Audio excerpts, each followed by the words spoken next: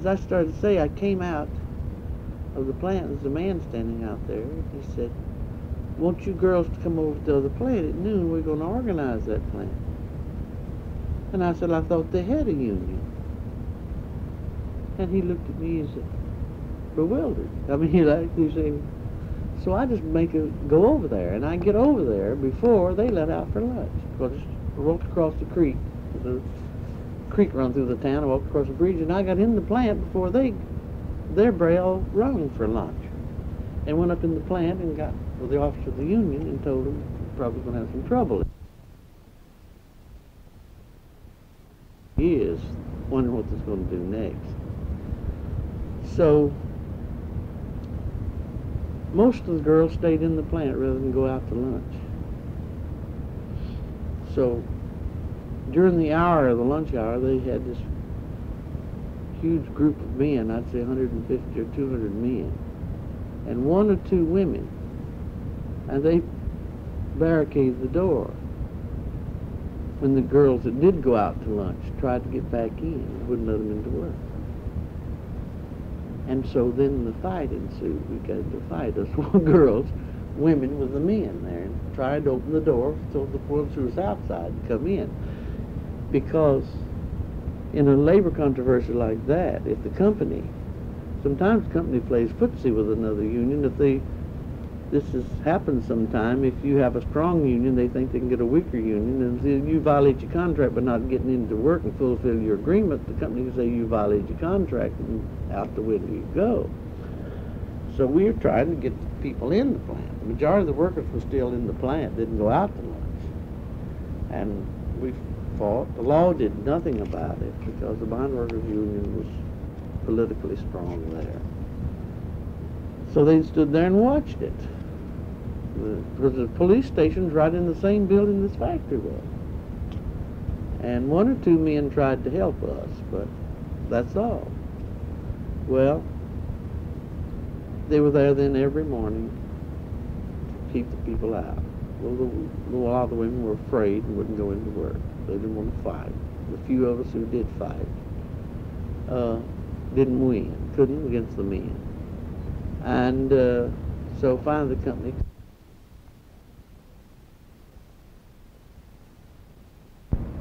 And, uh, well, to make a long story short, uh, then the uh, company, uh, something I know I can't prove, the company then found out they made a deal with them. And uh, then the uh, mayor of the town came and asked me if I would meet you know, to open the plant. I said, I'm ready for the plant to open any time. Company closed the plant. We didn't. Anytime the plant wants to open, company wants to open the plant, our people are ready to go to work or try to go to work. So they finally opened the plant, and but I'd say they made an agreement with the uh, this United Construction Workers. So due to the fact that we had been discussing wages, the uh, labor board ruled that our contract was open, and therefore could be an election could be held, and we lost it. Very, very small majority. We lost it by a small majority because the day before the election, in the union hall to a meeting, I had there was about 450 people working there. I had 395 people in the union meeting the day before. The people voted because they wanted to work, because of the violence. And during this time, there had been people beat up on the street, girls' husbands, houses shot into, and uh, which made me feel very sad because I hated two unions fight. But they won the election and the next day, they had nobody show up to work. They all came to the union, crying, sad, everything. Nothing I could do about it. The company called me up and said, asked the people to come to work. I said, you seem forget I don't represent those people anymore. And I don't care what happens. That's what I, he said. I know you better than that. You do care what happens. Anyway, I told the people was more alternative. So. Who was the uh, company? Well, it was a young man who was. I always thought he was weak kneed. I, I was. His father owned the plant, and he was the plant manager, Donald Cooper. He was a young fellow, about 26 years old. He left town when all this trouble started. Have the nerve to stay and find out. But anyway, that then they won. But they never did get the other shot. They never could get. They come over and tried to put a picket line in at the other plant. we The small them. one or the big? The small The one. small one, the one that And but then during minutes. that time, some good friends and people who were fair got busy and went to the governor of the state. The sheriff resigned. Because there's some other things happened during that time. The sheriff resigned. They hired a new chief of police. And they tried to do us the same way, but the little plant, but they didn't make it because we did have police protection. We had a new sheriff, or a man who fitted in for sheriff, who was fair, and was going to see that law was lived up to. When you say So- they had an election, the, you mean the workers in the plant Yes, elected the labor union they nation- wanted? Well, which were they, I don't say they elected the one they wanted. They elected the Oh. one they felt it was the best to keep peace. Okay, but they have this right in a plant, they to choose which. Oh, that's the labor, National Labor Relations Board. Yeah, they came in. You see, otherwise they couldn't have had an election with a contract. Since we had opened the contract to discuss a wage increase, then anytime you open your contract, where that contract ends or not, we have clauses in our contract, most of them, that during the life of this contract, for the purpose of wages, we can reopen, discuss wages. Anytime you reopen your contract, another union can petition whether that contract is up or not. Most of the contracts run for three years. And you can only petition when one union's in the plant. Another union can only come in and try to petition for if they've got a, as much as a third of the people on union authorization cause to enter what we call a show of interest.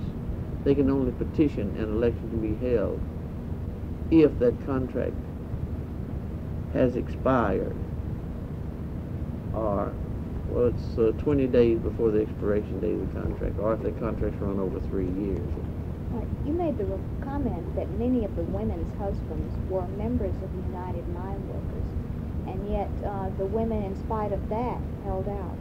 the Yes, they did. Uh, Would that seem to indicate that even the uh, they felt that members the- of the United Mine Workers themselves wanted the, their wives that's to right stay in the, the, the, the men in the mines the individual miners the members of the united mine workers did not condone this told me this. Other miners or a delegation of the miners union from another county union members came to me and asked me if there any way they could help me.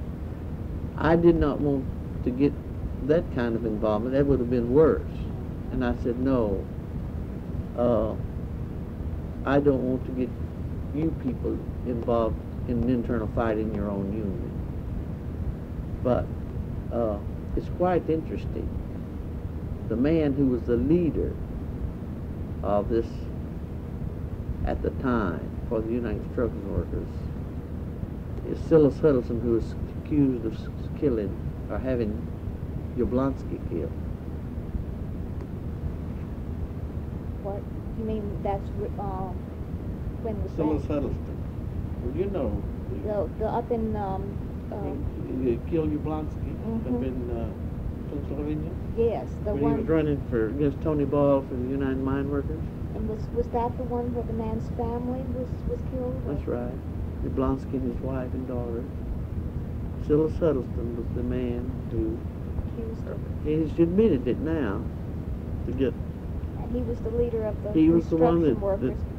And was he actually ever in La Follette? Yeah that's where he lived. He lived in Caryville I knew him.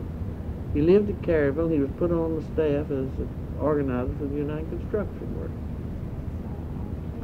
The name of the mill, I forgot to ask that. well that was the uh, Imperial Shirt Company. Or was known up there as the La, they made Imperial shirts. The name of it was La Follette Shirt you ever have any face-to-face confrontation with uh, Mr. Hubbard? Yes, he came down one day with five men. During this time, this three years, they tried to harass me. He came down one day and started in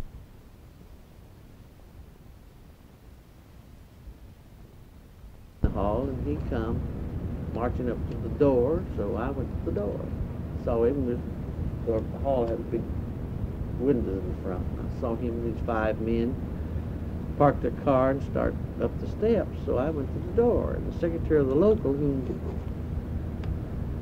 who her her, husband worked at the bus station, and he had been beaten up. She got behind the door with a 45. And he walked up to the door, and I said, "Where are you going?" He said, "I'm coming in there." I said, "No, you're not." He said, well, I represent those people. I said, well, if you represent them, you go rent your hall and take them over there. But the Amalgamated Clothing Workers paying the rent on this hall. And those are members of the, United, of the Amalgamated Clothing Workers in there. And you have no business in this hall. And I said, I want to tell you something, Silas. I said, I believe that you're responsible for Ed Blair and Franz Daniel being beat up. I want you to know if anything happens to me, you're going to pay for it. Whether you do it or not, somebody's coming after you. And he said, well, I hope nothing don't happen to you. I said, you better because I'm holding you responsible for my welfare. So they left. But, and they tried to, oh, they got a gang of women one day. I came out, I lived across the street from Union Hall in what's known as the old Follette home place was owned by Mr. Charlie Russell, who owned the hotel. And uh, I had lived in a house with a girl who worked in the shirt factory. We moved out of the house up into there, but we thought we'd be safer. We were in the apartment. We felt we weren't safe in this little house, so where, where she lived. So I was coming across the road, and this gang of women got around me. And frankly, I was toting a gun. I had a gun in my pocket because I kept one in my in my uh, office there for my protection. And uh, I had it in my coat pocket. And uh, they got around me. Well, I knew if something happened, I didn't intend to use the gun. I only had it in the office to protect me if somebody come in. I was only taking it to the office. I didn't carry it on my back. And uh, they ganged around me and just stood there and looked at me. So I stood there. Well, the lady whose postmistress lived in the house right in front of the building where I lived. And she come out on the porch and asked me if I wanted to call the law. I said, Lord, no. I said, they'll help them. And one of the girls who lived down the street, she come up to try to help me out. And I told her to go on back to her house. But they just stood there and looked at me because really they didn't have anything against me. I said, well, if you girls uh, don't have anything to say to me, I said, uh, I've started to the post office, which I had. But there's four carloads of men, and I figured what was going to happen. They were going to get me, try to, they were going to start to fight them and get men was going to get me. So there's four carloads of men parked there. And they began to yell at the girls, hit her, jump on her. But you see, they really didn't, didn't, they couldn't get them steam because most of those women, I did not even know, they didn't know me. One or two of them I did know. And I had one of the women stand there facing me. When I came there as business agent, was hired as a handicapped worker and was paid substandard wages, and I got her off that and made the company pay her the same they paid everybody else because she wasn't handicapped. Somewhere along the line, they got her assigned that she was handicapped and couldn't earn as much or work as good as the others. And I had, there stood a woman in front of me whom I had gotten off handicap as a handicapped worker, as a, as a, as a full worker with wages. And I didn't think that woman had anything against me. And uh, so she's, she was the only one I can remember even there that I knew. And, uh, but it was so uh, she stood there so prominent in things I had done for her, you know. which was my duty to do it as a representative of the union, but it wasn't fair for her to be working in there for below the minimum wage. So anyway, I turned and turned my back on them, and I figured when I turned my back, they might have the courage to hit me, but they didn't. And I say to that that those girls did not have any animosity toward me, uh, because otherwise they would have they'd been mad, and that kind of heal people. If they had any feeling of animosity toward me, I think I would have gotten beat up there. And if they'd found a gun on me, I'd been in trouble. So I called the national office and told them what was going on. And they told me frankly, said, get out of town, just leave. Said, them people's never been nothing but trouble to us. Leave. I said, no, these people don't want to leave our union. They, they're loyal to the amalgamated. And I'd like to stay in here. And they said, well, we can't send you any help. I said, stay in there, and uh, if you stay in there, hire you a good lawyer. So I went to uh, Knoxville and hired a lawyer just in case I needed one. Was this your personal lawyer, or would he have been paid by the I don't know. I never had to use him, so I don't know. I didn't particularly think about that. But uh, he was, oh, he was a uh, lawyer that I could trust. That I, I mean, by reputation, I knew that he'd Okay. always been. What I mean is, it sounds like from that that maybe the, the union was just kind of leaving you on your own, but that wasn't exactly. No, because a man would have been unsafe in there. I didn't feel that way at all. Okay, but me and they- the women, me and the women took care of them men pretty good. They came down said- there one day and tried to break in our union hall. Bunch of the men. When they was having a meeting. They came down there in force one day. And we had the door locked. And they couldn't get in. And they was trying to pull the door open. And uh, they couldn't get in. So the police, we had, frankly, the women in there, I had gone down with the cabinet shop in the basement of our building. I'd gone in there and sawed off me some clubs and had them piled in Union Hall in case anybody did break in on us. We was going to protect ourselves. And the women had their scissors from the plant that they used. And every time they'd get their hands in the crack of the door, the girls cracked their fingers. so the law was standing out there now. The law was standing. The policeman was standing there in the in the yard of the Union Hall. So the girls kept doing that, and they yelled to the uh, cop and said they've got hammers and clubs in there, in our own building. We're paying rent on. it." And he come up and told us to open the door. And when we opened the door for him, he was a cop. He asked us to open the door. He stepped back and said, "Go to it." And then the men run in the hall and we beat the tar out of them with them clubs. Sent seven of them to the hospital and cut their arms with scissors. They got the worst end of the deal. Uh, did the, um, the law happen just to get, to disappear suddenly, or did he happen I to don't know get what happened. To tell you the truth, when he said, open the door and said, go to it, and those guys come rushing in the hall, I don't know what happened. I just wondered if he got a look or two. Was that the sheriff or the police? No, he was city police. You said that you were renting the Union Hall. Who owned it? Francis Coal Company. Okay. Well, did anyone uh, suffer any reprisals from these people for actually for renting you the hall? No, you, uh, no, it was Francis Coal Company owned the building, and uh, we were renting it on a month-to-month basis. We didn't have a lease, and I was I had tried to sign a lease. I was afraid we'd get put out. It was a good building, would seat over a thousand people, which we had close to a thousand of us. And I was we had put carpet on the floor and fixed the building up, and I had tried to get a lease to protect ourselves because if we had to give up our carpeting and our we had a real nice place. The girl we had raised the money through parties and things to make us a nice hall. We had a good lounge, we had a kitchen and everything, and I hated to. I felt like maybe someday after we fixed the place up and spent the money, but we weren't paying but twenty-five dollars a month rent, and I was so afraid that he might rent it out from under us. And I tried to get a lease, and he wouldn't do it. Okay, maybe. So it finally happened. Somebody did lease it out from under us during this time. But did the coal companies really, uh, that was, we're talking about a coal mining company, That's right. Did, they really didn't mind seeing a union hold out against the United Mine Workers or didn't- against an, an organization? If they did, I didn't know anything about it. I- I- Actually, this Francis Coal Company was operating under a union agreement with the United Mine Workers and was not covered by workman's compensation.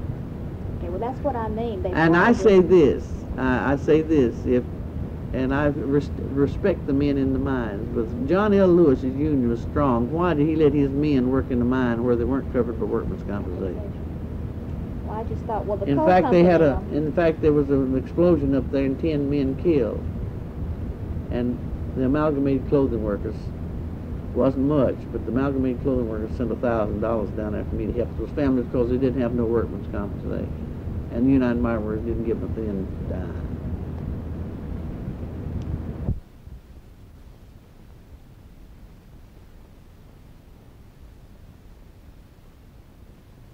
now, the two shops now, who has them? Well, one of the shops, the the uh, the small shop, after World War II, after the war's over, smaller shops began to be gobbled up by the larger shops, and individual trade names of shirts began to be. Uh, the competition got so so so uh, bad for shirt business that name brand shirts took over. And George Saltzman was so proud who owned that plant. It was a privately owned plant. Very, as, a, as an employer, he was a very good employer. He was hard to deal with, once you made a deal, he had he was really very sympathetic. But uh, he would not take contract work. We tried to get him to go into contract business, and he wouldn't do it. So he uh, closed the plant in 19 in uh, I think about 1950. He finally had to close because he could not compete with the brand name shirts. He made a little shirt called Stetson and had done good business. And he'd gotten old in the meantime, and he had other interests. The two shops, the big one and the little one, were Now owned the- by the same man? No, uh-uh. Okay. The large plant's now been gobbled up by the Imperial Reading, which is uh, Pennsylvania Reading Coal Company. Uh, I mean, I don't mean Reading Railroad. I remember in listening to the tape where you gave the uh, lecture at Georgia State uh, to one of the classes that you were talking about the big conglomerates and um, the, the unions and dealing with these conglomerates. And you feel that, that dealing with um, a large conglomerate is much different than dealing with someone like this man who is That's an right. individual owner. most of our concerns were individually owned. I don't think there's but one. I'm, I think I'm correct in saying there's only one clothing concern that's still family owned, and uh, most of them have been bought out by interest other than clothing, or other than the than the garment industry, and uh, we deal now with people who, to my in in my opinion, they're not interested really. I, I, in quality, I think that's why a lot. Uh, I think uh, conglomerates. Uh, I think it'll be proven they're inefficient because everybody's hired. Nobody has a real feeling for the, for for for the industry, particularly in clothing and cotton garment. I'm talking about. They're working for from the president on down. The man's hired, and he, he just gets through the day without getting blamed for something himself, and blame shifted from this one to that one.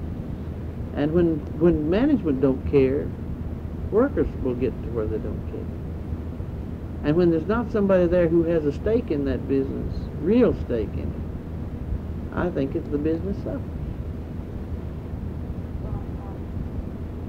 in the, the garment factories, is there a production system? Like, um, all right, say the workers earn a so much per hour for each hour they put in the plant, right? That's right. We're piecework industry. Most of the workers work on piecework. And they paid so much for each piece that they. Yeah, the rate is set. And then, but first, the union agrees on what we feel the average worker working at an average speed should earn per hour. Then we tell the company now, if you set the rates to yield that money, we'll not argue. But if people on a, say ten girls working on the job, the average girl can't earn, say, two and a half, we agree two and a half should be the average wage. That means the slower ones will make less, little, the faster ones will make more. But if that job don't yield that, then we're gonna come in and talk to you about, are you paying enough? Who's, uh, do you have some sort of, um, time management people that come Yeah. in and time these jobs and so When we get into controversy over a piece rate, uh, the company is now all, before World War II, an engineer was practically unheard of in the garment thing. Because most of the men came from the industry and they knew the shirt. Well, with a change of style, changes of material, and the changes in the industry that's gone on since World War II, I see that they're needed. Once was a time a shirt was a shirt. You set a sleeve in, and the only thing could in, could concern the sleever, you set a rate for sleeving, and a rate for sleeving. The only only differences you might have on rates was due to fabric, or stripes, or checks, or plaids. But with changes of the men's clothing, and I think it's good. It's helped. The, it stimulated the industry. With style change.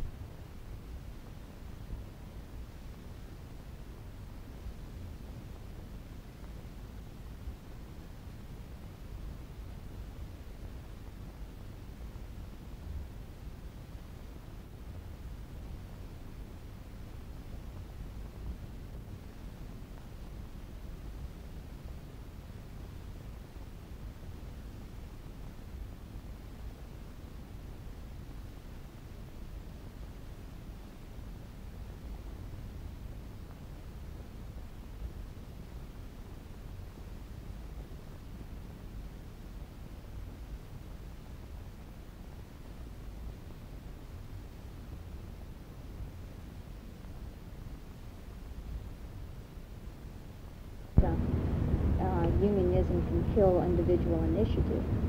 There's no incentive if everybody's going to make the same thing. What's the incentive for a worker to do a little bit above the average? But I can see that in your Well, industry that's that not true in union shops, but it certainly is true in non-union, because if you get a fast operator who, due to her skill, she's able to earn better than the other girl, the rate will be cut. So the fastest person sets the pace, where there's no control.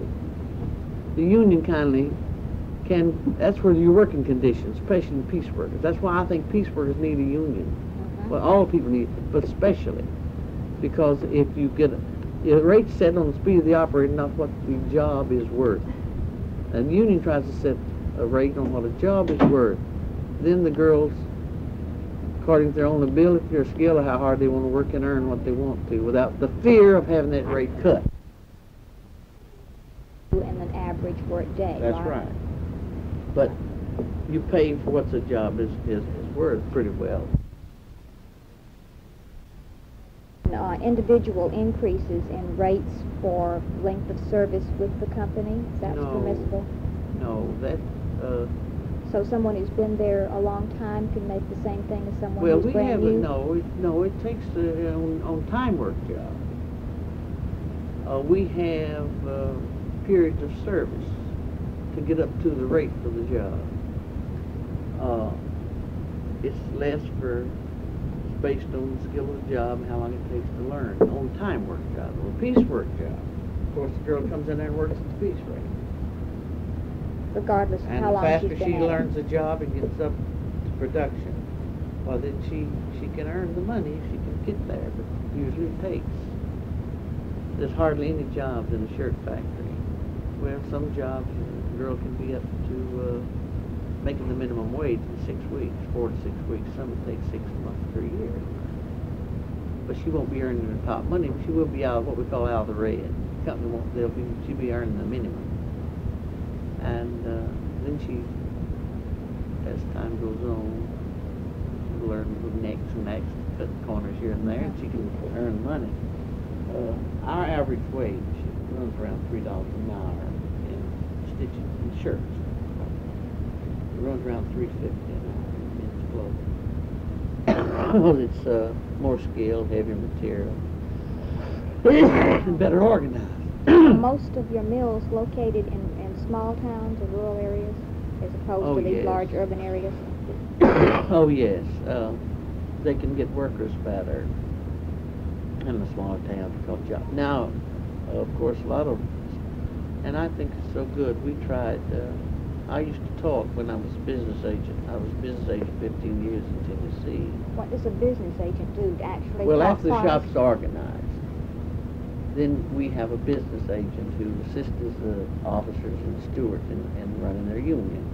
And they, if the grievance can't be settled in the shop, by the shop committee or the chairman or chairlady of the plant, then the business agent comes in and takes up. And Then it goes on.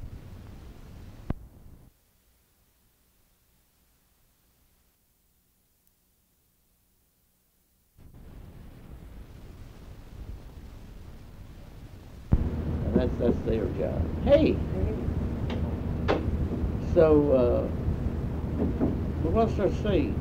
In, uh, I used to talk with, uh, all these little towns in Tennessee for a shirt factory. Well, I was concerned, Oh. thing was jobs for men too. And, and shirt factories come, Me and just would come into them down there. They thought it was sissy jobs. It was so funny. Uh, that although this was an industry that was almost completely run by men, the men down here, and a lot of them had done farm work or manual labor, and they couldn't use their hands like that. But uh, I used to talk to people when they, uh, uh, the little town would be advertising for industry. I used to go out. It was amusing to talk with them. I wouldn't tell them who I was, but I'd walk in and I'd say, I'm staying to watch some industry for your town. Yeah. So what, what kind of industry you want? Oh, don't. Well, what's the wage scale you expect to pay? Don't make. What do you want jobs for men? Don't make it. I mean, they, they really didn't really stop to think. Now, what's the best for my town? You know, really. Then I think I still, in my old fashioned, I think the man ought to be the leader of the house. I really feel that. Not to dominate the woman, but, the man that isn't looked up to in the home, it, it does something to children. I just really think that. I think that the man and the woman should play an equal part.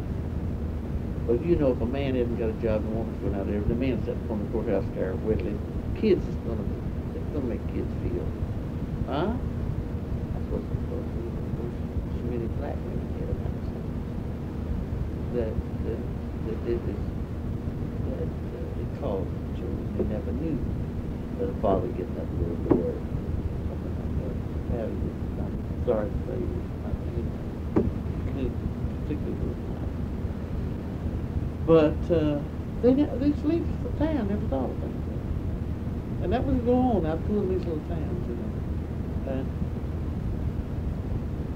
they never it never dawned on them to try to get first place something to iron, something to pay the best. But the skill wasn't there until after World II. There was no skill for any heavy industry. At least the best industry was this was required little skill. The garment. This was prior to World War II.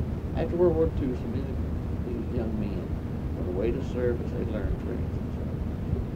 They went into the other places, and through education, that played a part in equipping people they here to learn.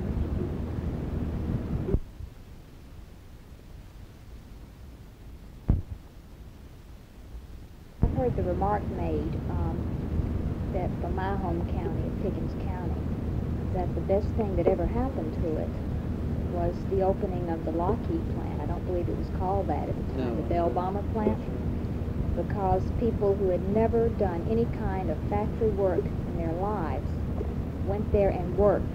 And after the war, they came back and they had a labor source of people that they had never had before. If anything good, I think, comes out of war, if anything is good, does let people learn understand how other people live, go where you see other people. I think it's done a lot to bridge the gap, not only black and white, but from other nationalities. And other people who live different from a different culture. I think if if anything good comes out of war, other.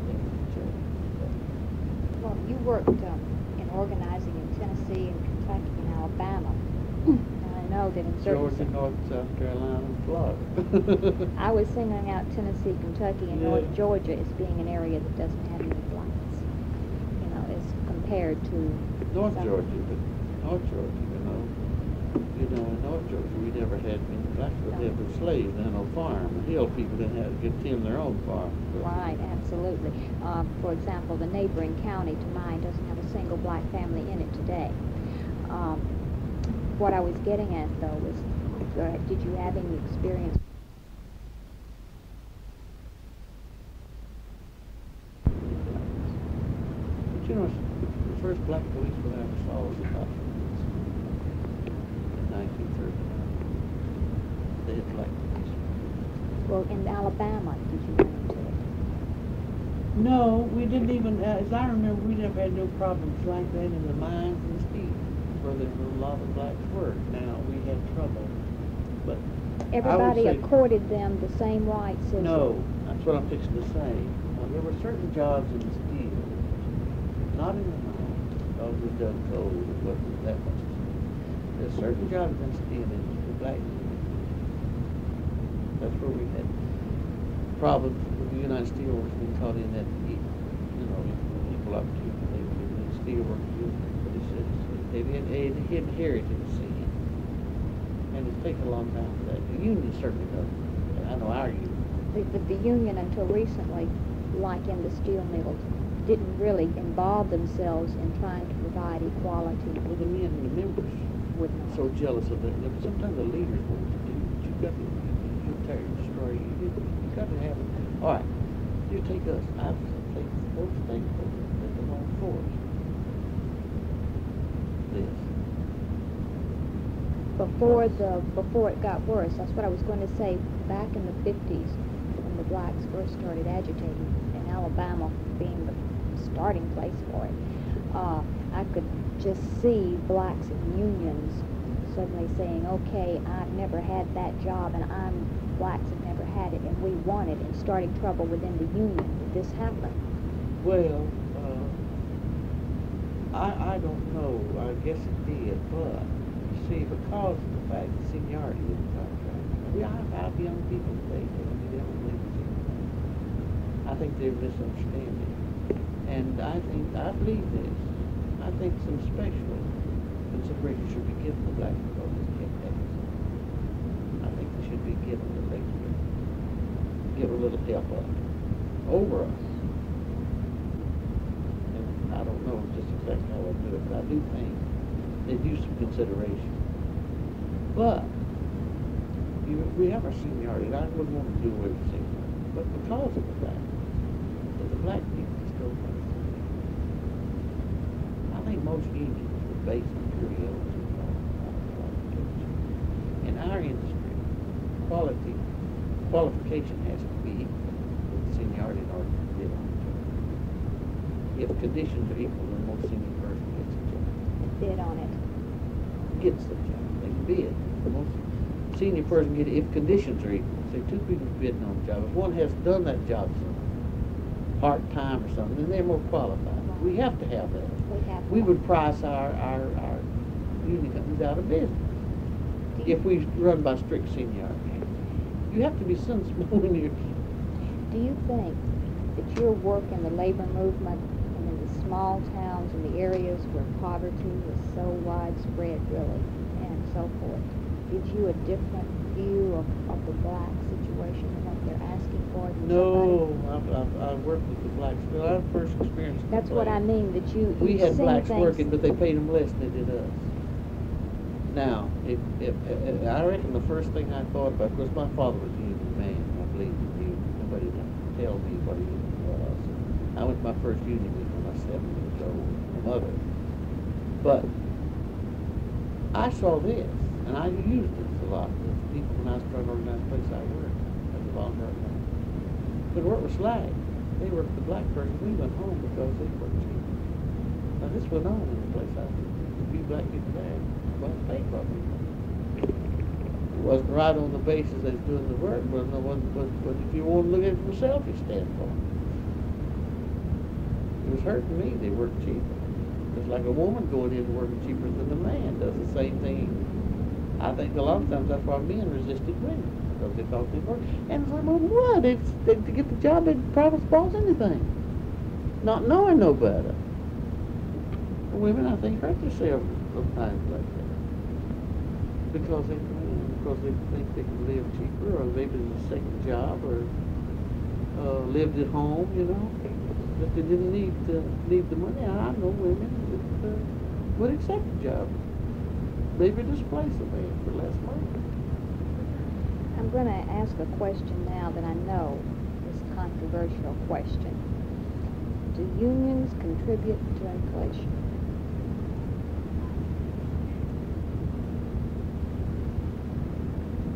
I don't think so. Because any labor union, in my experience, irregardless what anybody says, a sensible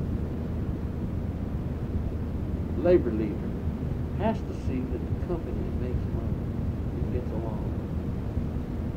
And they're consumers themselves. And if they're going to have every wage increase, they get gobbled up with high prices, they're defeating their own purpose. And it just doesn't make sense. I think, you know my feeling about what I think about this, there is this present, present inflation rate is because too few big conglomerates control what's being produced. And the money is available now through government spending and uh, high employment, and they're charging. We pay it or we don't, uh, we don't produce it. And I think the oil business, I feel like that was a strike against them, which they had a right to do, to hold out for a high price of oil. I feel more or less that that was a strike to get the price uh, where they wanted it.